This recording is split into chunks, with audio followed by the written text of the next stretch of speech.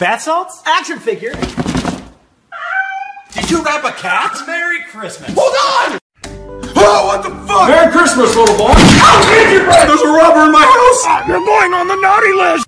Le foie gras, ça ça va, jusqu'à ce que ma soeur intervienne.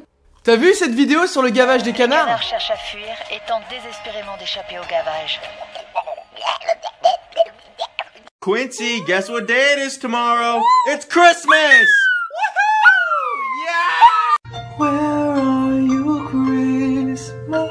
I'm right here.